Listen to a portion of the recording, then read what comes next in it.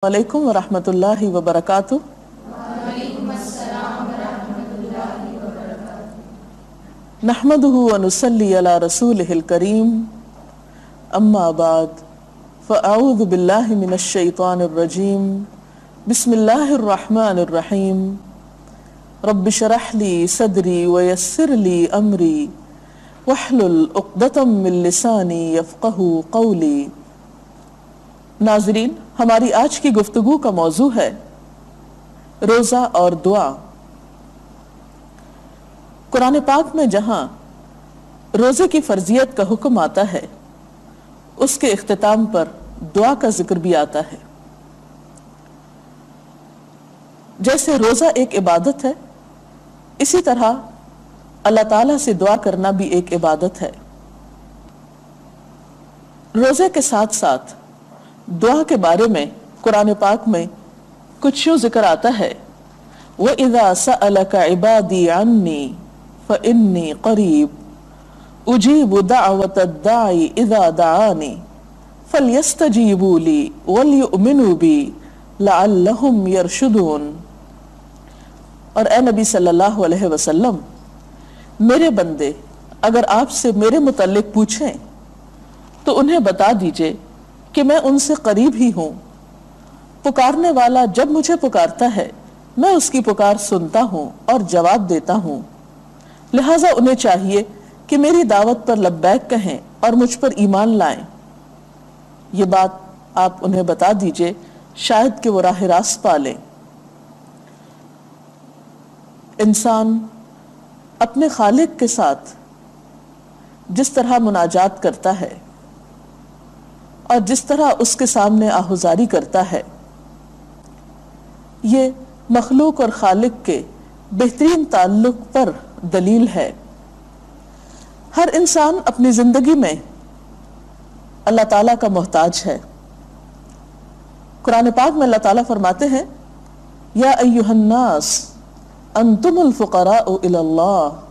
वल्लाहु हुवल गनियुल हमीद। ए लोगो, तुम सब अल्लाह के मोहताज हो, और अल्लाह बेनियाज तारीफ़ वाला है। और इसमें कोई शक नहीं कि हम में से हर शख्स जरूरतमंद है। खा कोई फकीर हो या अमीर हो, बादशाह हो या रियाया हो, जवान हो या बूढ़ा हो, हर शख्स किसी न किसी तरह जरूरतमंद है।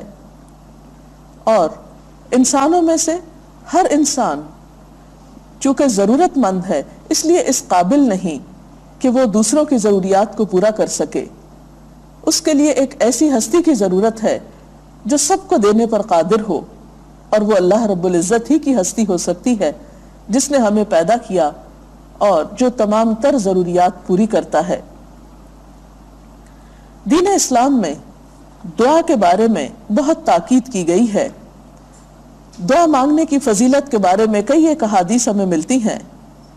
आप सल्लल्लाहु अलैहि वसल्लम ने फरमाया इन दुआ हुवल इबादा. कि दुआ ही इबादत है। इसी तरह एक और हदीस में आता है, काला रसूलुल्लाह सल्लल्लाहु अलैहि वसल्लम, लैस शैउन अकरम अलल्लाह मिन दुआ. कि अल्लाह ताला के नज़दीक दुआ से ज़्यादा अजमत वाला कोई अमल नहीं। यानी एक शख्स जब अल्लाह रब्बुल इज़्ज़त के आगे हाथ उठाता है तो वो मौका बंदे की अजमत का है और अल्लाह ताला के नज़दीक कुर्ब का है कि दुआ एक ऐसी चीज़ है जिसके अंदर इतनी तासीर है कि वो इंसान की तकदीर तक बदल देती है। आप सल्लल्लाहु अलैहि वसल्लम ने फरमाया, ला युरद्दुल दुआ कि तकदीर को कोई चीज़ नहीं बदल सकती। मगर दुआ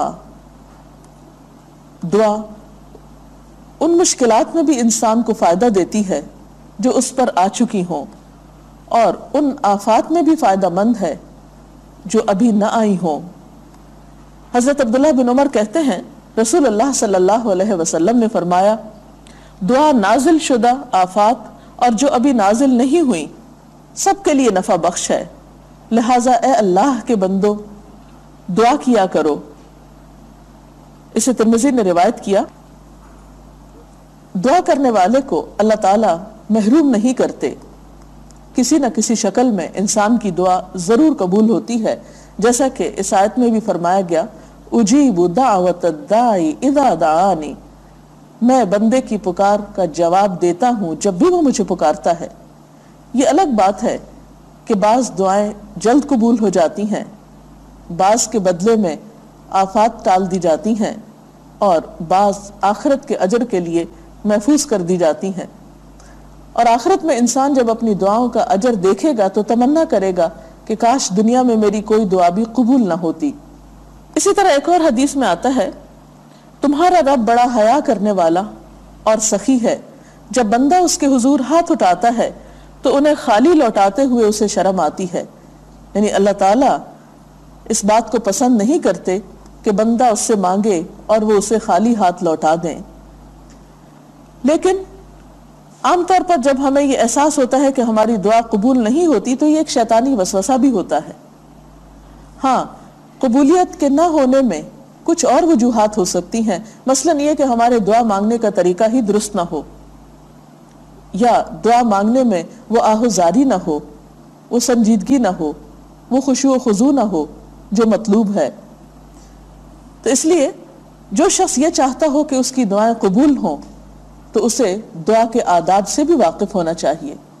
दुआ मांगने के आदाब में सबसे पहला अदब यह है कि मांगने से पहले अल्लाह सुबहान तला की तारीफ़ की जाए तस्बी पढ़ी जाए।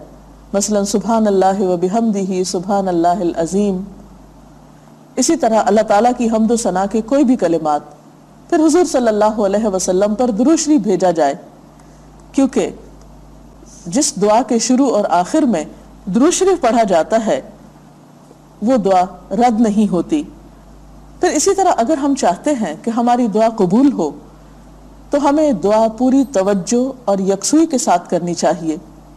एक हदीस में आता है, आप सल्लल्लाहु अलैहि वसल्लम ने फरमाया, अल्लाह ताला से कबूलियत के मुकम्मल यकीन के साथ दुआ करो। यानी ये यकीन रख के दुआ करो कि दुआ कबूल हो जाएगी। दिल में शक नहीं होना चाहिए। अल्लाह ताला की रहमत से मायूसी नहीं होनी चाहिए। और याद रखो, अल्लाह ताला गाफिल और बेध्यान दिल की दुआ कबूल नहीं करता। यानी अगर दुआ कबूल नहीं होती तो उसमें खुद हमारा अपना ही कसूर हो सकता है। और हमें मालूम होना चाहिए कि क्या हम दुआ के आदाब को मलहूज रखते हुए दुआ कर रहे हैं या दुआ महज एक दुआई है और चंद अल्फाज ही हैं। फिर इसी तरह दुआ के लिए हाथ उठाना मसनून है, लेकिन अगर कोई शख्स हाथ उठाए बगैर दुआ कर रहा है चलते फिरते, लेटे हुए तो भी दुआ कर सकता है। इसी तरह यह है कि मामूली से मामूली चीज़ भी अल्लाह ताला से मांगनी चाहिए। साहब कराम का तरीका यह था कि जूती का तस्मा भी टूटता तो पहला ख्याल उनके दिल में अल्लाह ताला ही का आता कि उससे मांगे। फिर इसी तरह कुछ ऐसे औकात हैं कि जिनमें अगर दुआ की जाए तो दुआ कबूल होती है। मसलन रात के आखिरी हिस्से में और रमज़ान मुबारक में आप हर रोज शहरी के लिए उठते हैं, वो दुआओं की कबूलियत का वक्त होता है। उस वक्त खास तौर पर दुआएँ कीजिए। इसी तरह आज़ान और इकामत के दरमियान दुआ कबूल की जाती है। उस वक्त की दुआ भी लौटाई नहीं जाती। बाज लोग आज़ान हो रही होती है और वो बोल रहे होते हैं, या ये कि आज़ान होती है और वो इधर उधर कामों में मशगूल हो जाते हैं और यकीन के साथ उसका जवाब नहीं देते तो इस सिलसिले में भी आप सल्लल्लाहु अलैहि वसल्लम ने जो तालीम दी है, वो कुछ यूँ है कि जो शख्स आज़ान का जवाब यकीन के साथ देता है नहीं तवज्जो के साथ देता है और उसके बाद दुआ करता है तो उसकी दुआ कबूल की जाती है। फिर इसी तरह सजदे में दुआ कबूल होती है, जुमे के दिन एक खास घड़ी होती है जिसमें दुआ कबूल की जाती है। फिर मैदान जंग में जब एक मुजाहिद सफ़ों में खड़ा होता है, उस वक्त दुआ कबूल होती है। बारिश नाजिल होने के वक्त दुआ कबूल होती क्योंकि वो अल्लाह ताला की रहमत बरस रही होती है। फिर इसी तरह योम अरफा, यानी हज के दिन, नौजुल हज को दुआ कबूल होती है। फिर इस तरह जमजम पीते हुए दुआ की कबूलियत का वक्त होता है। बहुत से लोग जमजम पी रहे होते हैं, अपने ऊपर डाल रहे होते हैं हज उम्र के मौके पर, लेकिन दुआ मांगना भूल जाते हैं। हालाँकि वो भी कबूलियत की एक घड़ी है। इसी तरह कुछ ऐसे लोग होते हैं कि जिनकी दुआएँ रद्द नहीं होती, उनमें मजलूम की दुआ, मुसाफिर की दुआ, बाप की दुआ अपने बच्चों के हक में, गाजी की दुआ, यानी एक शख्स मैदान जंग से कामयाब लौट रहा है, हज और उम्र करने वाले की दुआ, जब वो अपने घर की तरफ़ वापस आ रहा हो और उस, उन मौक़ों पर भी इसी तरह औलाद की दुआ अपने वालदेन के लिए, जबकि वो नेक हों, वालदेन के फर्मा बरदार हों, फिर इसी तरह खुशहाली और फराग में दुआ करने वाले की तंगी और मुसीबत के वक्त दुआ कबूल होती। यानी वो शख्स जो खुशी के वक्त, आराम के वक्त, किसी परेशानी के बगैर अल्लाह ताला से ताल्लुक रखता है, दुआएँ करता रहता है तो ऐसे शख्स पर जब कोई मुश्किल आती है और उस वक्त वो दुआ करता है तो उसकी दुआ भी लौटाई नहीं जाती। वरना वो शख्स जो सिर्फ़ मुश्किल वक्त में अल्लाह ताला को पुकारे तो फरिश्ते उसकी जब दुआ सुनते हैं तो कहते हैं, कोई अजनबी सी आवाज़ मालूम होती है, इससे पहले तो उसने कभी अपने रब को याद नहीं किया था। फिर रोजादार की दुआ, खासतौर पर इफ्तार के वक्त। बहुत से लोग उस वक्त को भी सही तौर पर इस्तेमाल नहीं करते और इधर उधर की बातचीत में गवा देते हैं। फिर बीमार की दुआ। फिर मुसलमान भाई की अदम मौजूदगी में, उसकी गैर हाजिरी में उसके लिए दुआ। फिर इसी तरह कुछ लोग ऐसे भी हैं जिनकी दुआएँ कबूल नहीं होती। हमें अपना जायजा लेना चाहिए कि कहीं हम तो उनमें से नहीं। और ये खास तौर पर इसलिए भी कि बहुत से लोग दुआ करते हैं और अगर फौरी तौर पर कबूल नहीं होती तो मायूस हो जाते हैं। और ये समझते हैं कि हम तो शायद अल्लाह ताला के नापसंदीदा बंदे हैं, इसलिए हमारी तो सुनी ही नहीं जाएगी और वो मांगना छोड़ देते हैं। हालाँकि ना मांगने पर भी अल्लाह ताला की नाराज़गी होती। इंसानों से जो माँगता है इंसान उससे नाराज़ होते हैं और अल्लाह ताला उससे जो उससे माँगता नहीं। अल्लाह ताला को ये बात बहुत पसंद है कि बंदे उसकी तरफ़ रुजू करें, तौबा करें, इस्तगफार करें और उसी से मांगे। लेकिन कुछ हालतें ऐसी हैं कि जिनसे इंसान जब तक निकलता नहीं, गुनाहों से माफ़ी नहीं माँगता, उसकी दुआ भी कबूल नहीं होती। जिसमें सबसे पहले रिस्क हराम खाने वाले की दुआ, फिर इसी तरह रिश्तेदारियों को काटने वाले की दुआ। वो भी कबूल नहीं होती, क्योंकि कत रहमी अल्लाह ताला को सख्त नापसंद है। फिर गफलत और लापरवाही से मांगी हुई दुआ जैसे कोई दिलचस्पी नहीं, कोई शौक ही नहीं। फिर इसी तरह, जो लोग अमर बिल मारूफ और नई अनिल मुनकर का फरीजा अंजाम न दें, नेकियों का हुक्म न दें, बुराइयों से रोके नहीं, उनकी दुआएँ भी एक वक्त आता है कि फिर कबूल नहीं होती। इसी तरह एक और बात का भी हमें ख्याल रखना चाहिए कि दुआ सिर्फ़ परेशानी और मुसीबत में ही ना मांगे। फिर यह कि दुआ मांगने के लिए किसी खास उम्र की कोई कैद नहीं कि आप बुढ़ापे में दुआएँ मांगे और अगर आप बच्चे हैं या जवान हैं तो आप सोचे कि अभी तो मेरे मांगने के दिन नहीं। या ये कि अगर आपके पास अपनी ज़रूरत की सब चीज़ें मौजूद हैं तो आप सोचें और क्या मांगना है? नहीं। अभी हमारे सामने एक बहुत बड़ा इम्तहान है आखरत का। आखरत के लिए दुआएँ मांगनी चाहिए। अगर दुनिया में फौरी तौर पर कोई ऐसी मुश्किल या कोई ऐसी ज़रूरत आपके सामने नहीं, और बच्चों को ख़ास तौर पर दुआएँ सिखानी चाहिए उनको मांगने के आदाब बताने चाहिए, क्योंकि फिर वो ज़िंदगी का एक हिस्सा हो जाती हैं। और अगर हम आमतौर पर ज़िंदगी में चंद कलमात, आदतन भी शामिल कर लें, जो कि दुआया कलमात हैं तो ये भी हमारे अपने लिए और जिसके लिए हम दुआ दे रहे हों, फ़ायदेमंद हो सकते हैं। मसलन, अस्सलाम वालेकुम तुम पर सलामती हो, ये भी एक दुआ है। जजाक अल्लाह खैरन, अल्लाह ताला तुम्हें अच्छा बदला दे, ये भी दुआ है। फिर इसी तरह बारक अल्लाह का अल्लाह ताला तुम्हारे लिए बरकत पैदा करे। तो गोया बहुत से कलमात ऐसे हैं जो बजात खुद एक दुआ है इस्लामी अखलाक और अदब का हिस्सा है। अल्लाह ताला से दुआ है कि अल्लाह ताला हमें इन आदाब से माला माल कर दे। वाखिर दावाना अनिलहमदिल्ला रबालमीन अगर आपका कोई सवाल हो तो आप कर सकते हैं। दुआ से मुतलिक मैडम क्या आप किस बात की वजाहत कर देंगी कि क्या हम लोग अपनी ज़ुबान में चलते फिरते दुआ कर सकते हैं? जी हाँ बिल्कुल मांग सकते हैं। यानी दुआ मांगने के लिए ये शर्त नहीं कि आप मुसल्ले पर ही बैठे या किसी खास जगह पर बैठे या ज़रूरी तौर पर बावजू हो।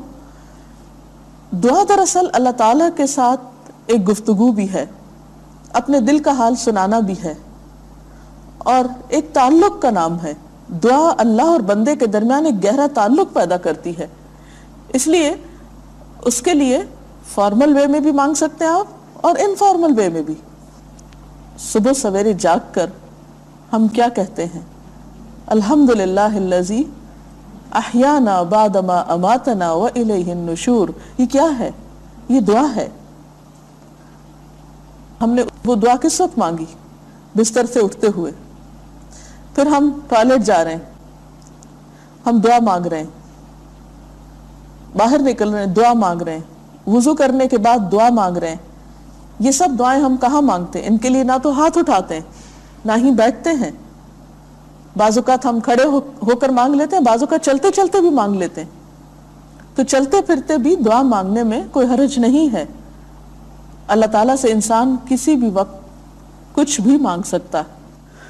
नाजरीन इसके साथ ही हमारे आज के प्रोग्राम का वक्त ख़त्म हुआ चाहता है। कल तक के लिए इजाज़त चाहते हैं। अल्लाह हाफिज